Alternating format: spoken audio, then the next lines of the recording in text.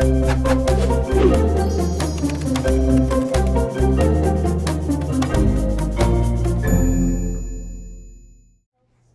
get started with text talk time. So before we come to the circle, I want you to start getting those ideas in your head, right? So I want you to get your journeys books out, if you took notes in your journals, and your post-its. And I'm gonna want the blue people with the blue strip on your desk to turn around and talk with your group about what the book made you think about. What could you maybe share in our class discussion? um, that Lewis had um, the best eyesight um, than, of the whole group. and, This is about the it took 24 days to go around Waterfalls. and that and that good eyesight actually can, can come in handy. What could come in handy? The eyesight because you can um, sharp eyesight um, can actually um, see stuff that are far away and some people can't see them. and so the person who has sharp eyesight um, is really actually has he has like um, something really useful to use because if there's like danger he can alert them So you think sharp eyesight would be good when you're if someone was exploring? It would be good to have someone in the group with good with eyesight Good eyesight. Oh wow, lots of thinking. All right, Julio. I had um that Lewis and Clark went all 24 days to go all around the the fall. Okay. So that surprised you? Why did that? Why was that surprising? Because it took 24 days to get all, all around the, fall. Does that seem like a long time to go around, to, to just to go around something? And like six months. Yes. Yeah, almost a month. Like a little bit less than a month to just go around one thing. That's a lot, right? Yeah. Michael, you have something to add? Yeah, uh, I was also surprised when uh, they had to carry all the heavy boats and the supplies with them to the fall, onto the waterfall. Yeah. So they had to walk 24 days, but they also had to carry all their supplies for the 24 days, right? Yeah. Carlos. Um, I have something to add to Michael and Julio of the river. That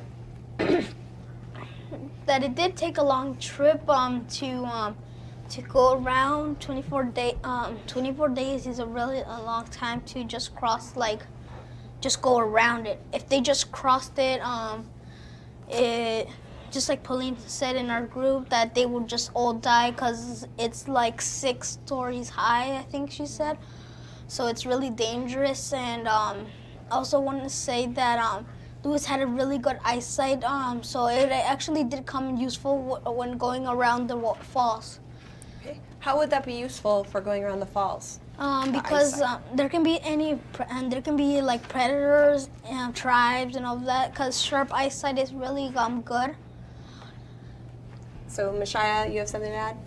Um, I was also surprised when they had to go around because I felt so bad for them because they were like exhausted and they were like tired and stuff.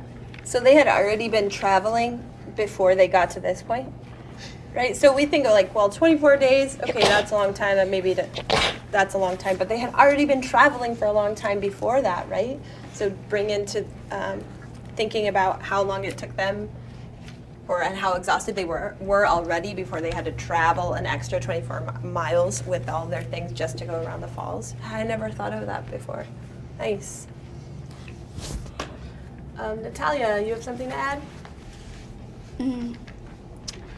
Uh, also on Sacagawea, it was hard probably for her because she had her baby with her, and to go around that river and stuff. Like babies, like we were talking about in our group, babies need a lot of good care, and it would be hard to go through all that, especially with a baby.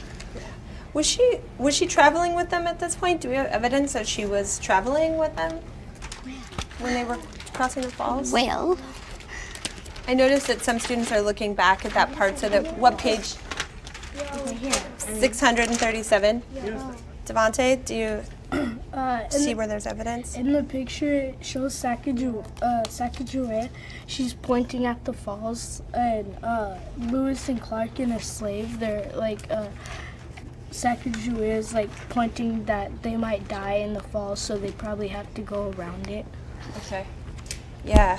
And uh, since I know that this is a narrative nonfiction, and we've been learning about how in nonfiction the pictures and the captions that gives us lots of information, I would expect that this um, picture is a way of giving us information, even though it doesn't say right here in the text that we could probably be pretty sure that Sacagawea was with them, and that this picture is placed here to give us that information.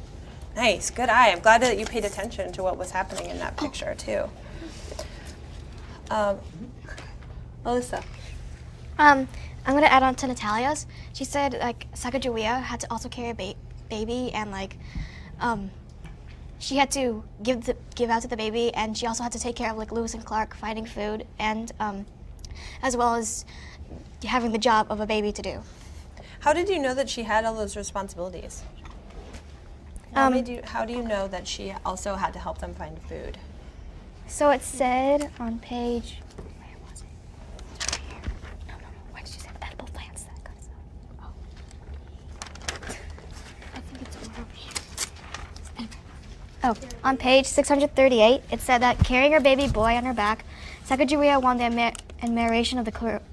She carefully scanned the riverbank to find edible fruit, roots and fruit. Okay, great. And it said those foods provided a welcome relief for the customary diet of meat and water. So you imagine that because of her, they were able to eat a variety. So not only was she carrying the baby, but also helping them get through or find the way and find food. So she had, she had a lot of jobs, right? Yeah, I didn't really think about that, but that's true. Uh, Kushi, hold on. Kushi. Okay, so I want to add on to Alyssa, and um, it says a trader and his wife, a Native American named Sacagawea, joined the expedition when it resumed its journey in April 1805. So we know that she was in the journey. Oh, so we can assume since they gave us this little background information at the start that from here on, Sacagawea as part of the Corps. Because it says here on May 26th, that's when they were crossing it. So yeah.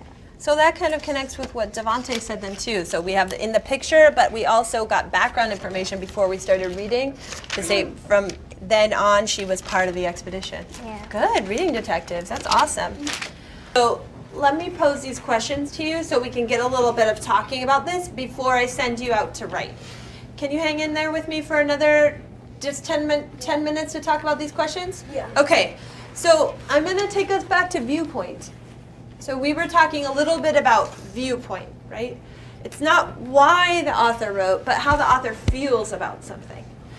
So we are going to have to find clues to be able to answer these questions about how the author feels about certain things uh, involving this topic. So the first one is how does the author feel about Lewis and Clark?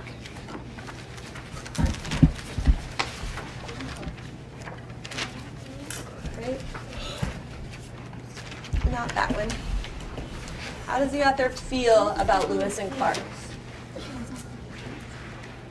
And in order to, to answer this question, you're going to have to prove it to me. If you are going to suggest that you think the author thinks that Lewis and Clark were brave, I would want evidence from the text that we just read or clues that suggest that the author thinks that the that Lewis and Clark are brave or good explorers. Um, do you think we can work together in finding some clues that would help to answer this question? Yeah. What clues did the author give us? Authors have choice, right? They can decide what they want to put in a book and what they want to leave out. Right? Just like we have choice when we're talking about things. If you're talking about a teacher that you really liked, you might share all the things you really liked about that teacher and maybe leave out the times that she was grumpy or she didn't give you a good grade on something and just focus on the things that you really liked when you're sharing about something. Authors make choices. They choose to put certain facts in and maybe leave certain facts out.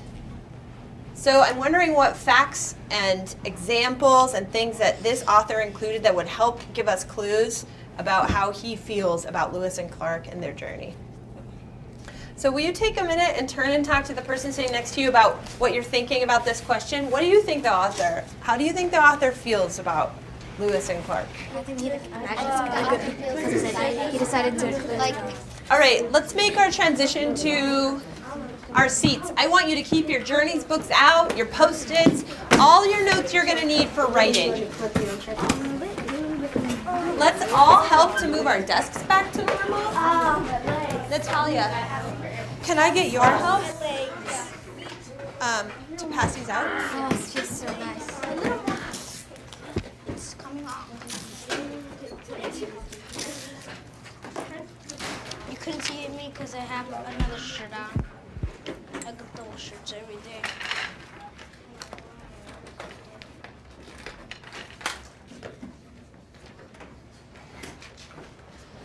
To get us started on this quickly because now that you have all your ideas in your head, I really want you to have an opportunity to put this on paper. And I was able to hear lots of your thinking, but I didn't get to hear from all of you. And we just don't have enough time. We could have kept talking all morning. But this, your writing, gives me another chance to be able to hear your thinking. And I care about what all of you have to say. So, right now, I really need your pencils to be down. And I need you to be, be looking forward so you can hear my message to you, please.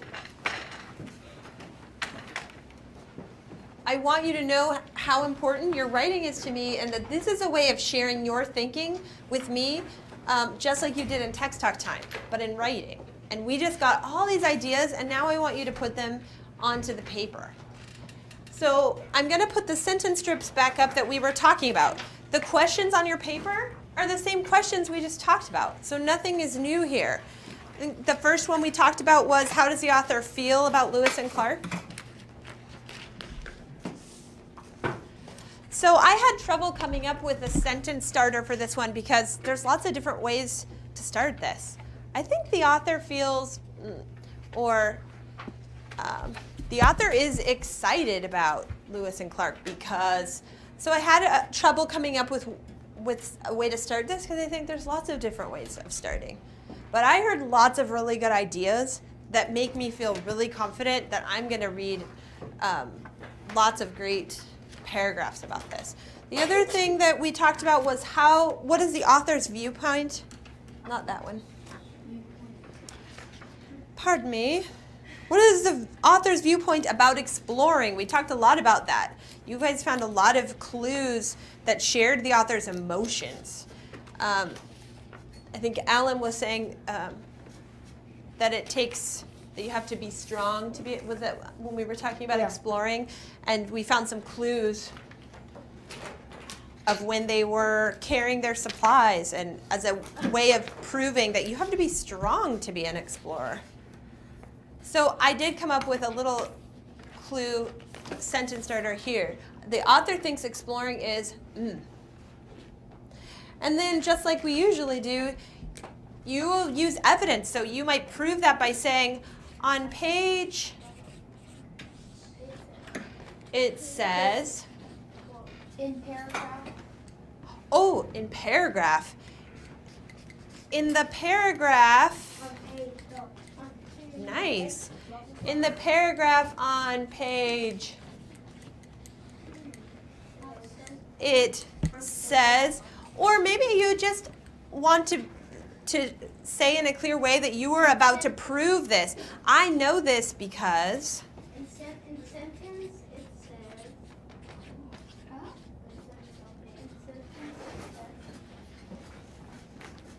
The big idea, though, is that you are going to give me your big ideas, your topic sentence. Tell me what the author thinks about exploring in your opinion, and then prove it. Give me evidence that helps me to really understand that you know what you're talking about, that I should believe you. Persuade me. And then, last but not least, this is some, I think, maybe the most fun because this is about you. What is your viewpoint about Lewis and Clark and their journey? What do you think? So I started this sentence too. Um, I wrote, I think Lewis and Clark were. mm, because, although the whole paragraph you're going to write is the because. So maybe you just want to make a bold statement and not even put because in that first sentence and just say, I think Lewis and Clark were brave. And then prove it in the rest of your paragraph with details, Michael, that help to explain that. What do you think? I, you're gonna tell me all about what you think the author thinks and the author's feelings, the author's viewpoint. Now, at the end, I want you to tell me about your viewpoint because your viewpoint matters. Is that clear? Yeah. You know the drill? Yeah. All right, let's get started. Please spend um, a good time, or spend as much time on this as you need. I really want you to work. We have from now until recess to work on this. So do your very best. And I'm really looking, like I already see Natalia's got her notes set out. She was looking back at her notes. Use the clues and the evidence you already have found. Look in your book, use that evidence in your writing. All right, I would like Michael, Alan, Ali, Jesus, and Brandon with me at the back table. All right, so let's get started. Will you, before we start answering the questions, will you guys remind me what viewpoint is? Can we talk about, because all these questions focus on viewpoint. So can we get some synonyms? This is kind of a fancy word, let's get some synonyms. You know what, because we're such a small group, you don't even have to raise your hand. So, and I noticed that Ali was looking back at the poster we made, and that's, a viewpoint. we always talk about that, You right? think So, about, like, opinion, Opinions like something you It's think like that what is- you see it in your in your mind, like Yeah. what you think. what you think and what you are, seeing. so Sometimes. from your says- point of view. If it Yeah. Yeah, your it's like your opinion, not someone says- else's. So I'm hearing a lot of you. It's your. your thinking. Is it always just you though? No, No. because right here it says, and like the second one it says, what is the author's viewpoint?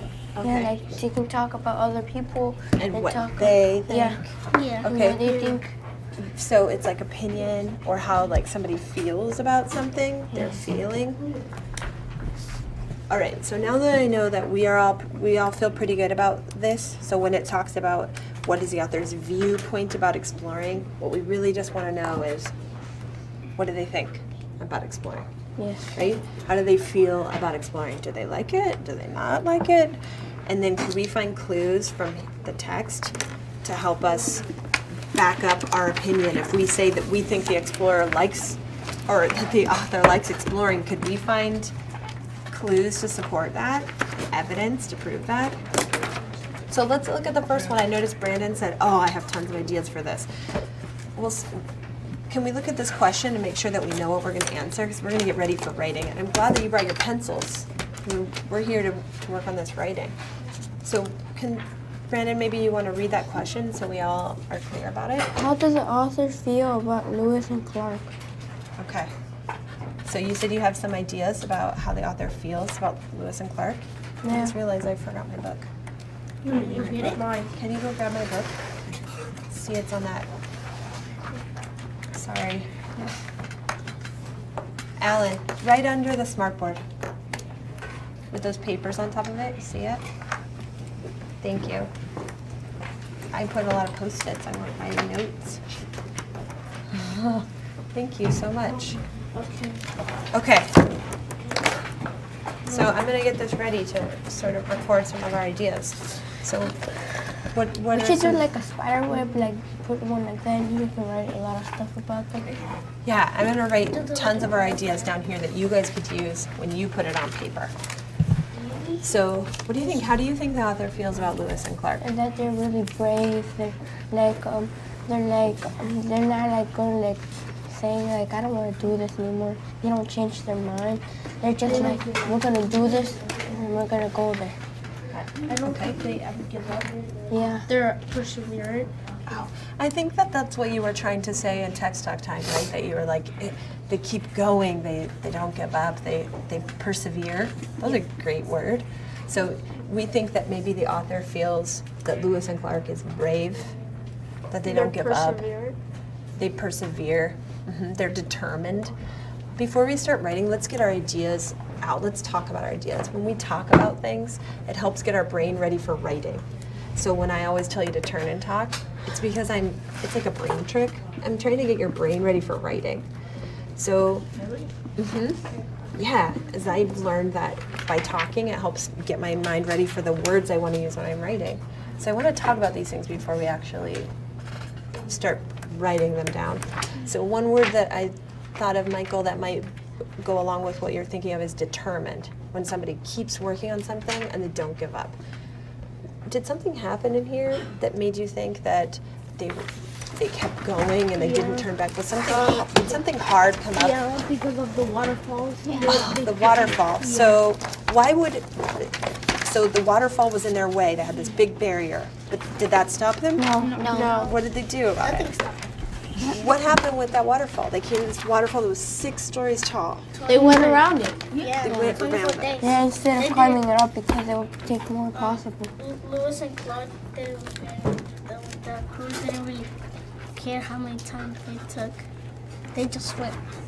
So if someone comes up to a barrier that they think it's stopping them, but then they find a way around it or a way to solve that problem, does that tell you that the person is determined and doesn't doesn't give up? They're confident that they're gonna make it. Yeah, huh? Adding 24 days onto their journey when you don't have tons of supplies, you must feel pretty confident that you're going to make it to the end, right? Yes. And that that everybody's going to survive. It's pretty dangerous, right? Um, sad that um that maybe they weren't worried because like they said that William Clark had perhaps the best eyesight of any of the crew members. And, they, and maybe Lewis thought they would make it because Clark had the best eyes, maybe. And if he, he saw the or where the Pacific Ocean was, then they would get there much more easier because Clark had the best eyes. Okay. Does that connect to? Does that help prove that that Lewis and Clark were brave? Do you think it's it's an important fact though, right? Mm-hmm. But maybe that would be best for a different a different part of your writing. Be thinking about what clues would support that they were brave, or that they were determined. They kept going. Oh. You shared a lot of things with me. Can, should we write like first, Did you second? decide to talk about how they're brave?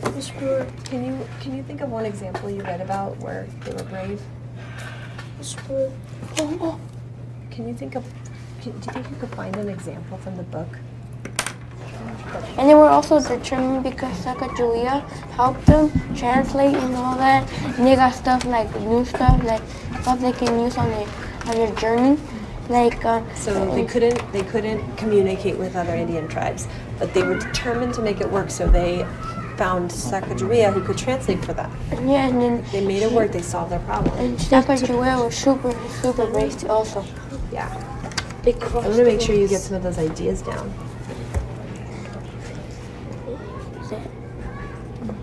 Ellen, can you read to me what you have so far? Uh, about the Indian Lewis and Clark over the, the reason it's when if they went to the Rockies and it, it might rain and snow it would make like make like. Yeah, it would be really brave to go in there. Think you can find another detail that helps explain why the author thought Lewis and Clark was were brave. Ali, it looks like you're finding some good evidence. And remember, it's added bonus if you can. We're working on quoting. If you can write on page blah blah blah, it says. Hey, Alan, did you finish everything you needed to finish?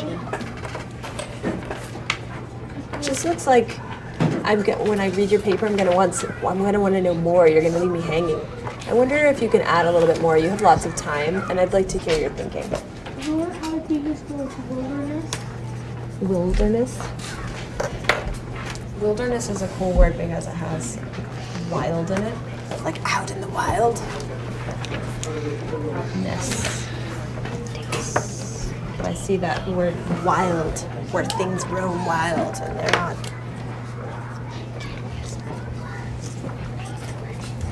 Climb. Mhm. That one's a tricky one because there's a B in there that you don't hear at the end. Climb. What are you ready to think? Who's climbing? Lewis and Clark in that parade? Climbed. Yeah. And climbing is usually when you're like climb a ladder. Usually when we're talking about mountains, we talk about hiked through because it means you're going up but walking. So you might say Lewis and Clark hiked. And I'm making it ED because we're talking about the past, right? Something that already happened. Can you read it to me? From the beginning? Yeah. The Arthur thought Lewis and Clark were determined first. They No, had to cross around the waterfall, but that didn't stop them. Page 637. Then they crossed the Rocky Mountains, but that didn't stop them either. Page 638. Nice. I like how you added that, that that didn't stop them either. You're connecting that to determine, so there's no doubt in my mind.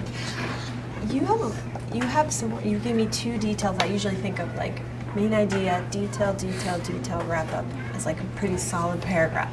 I wonder if you could add, find one more Yeah. detail to really prove it to me. Uh, I'm super, super, super proud of you. You shared so much good thinking, and I'm really excited to read your writing. Just what I got to hear with the small group that I was in, they came up with so many good clues and evidence to support their thinking. I was so proud of them, and I know that this you're gonna do so well in, in middle school. I know that your teachers are gonna ask you to do this, and this will be no problem for you. You know how to find evidence in the text to support your thinking, and I'm so proud to be your teacher.